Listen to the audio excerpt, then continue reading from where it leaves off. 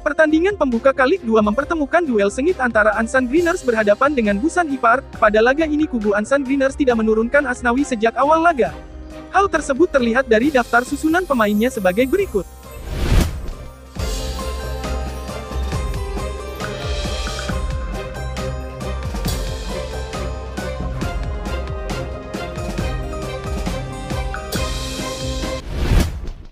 Sementara itu, Busan Ipark menurunkan skuad terbaiknya berisi nama-nama yang tidak asing lagi menjadi kekuatan di musim sebelum.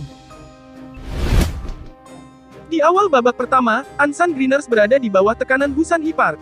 Permainan agresif dalam menyerang Busan Ipark benar-benar merepotkan Ansan Greeners, dan membuat skuad asuhan Chomin Koop mulai terkena pressing bertubi-tubi. Meski sesekali bisa menyerang, namun buruknya penyelesaian akhir menjadi salah satu penyebab Ansan Greeners kesulitan untuk mendapatkan gol pembuka.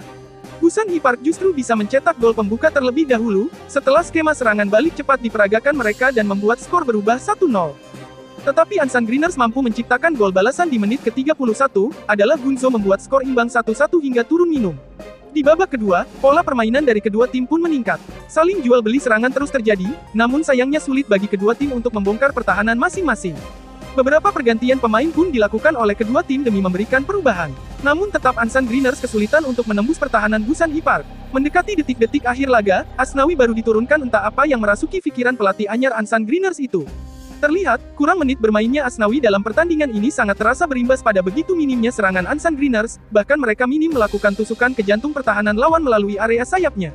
Miskin serangan itulah yang terasa di pertandingan ini untuk Ansan Greeners.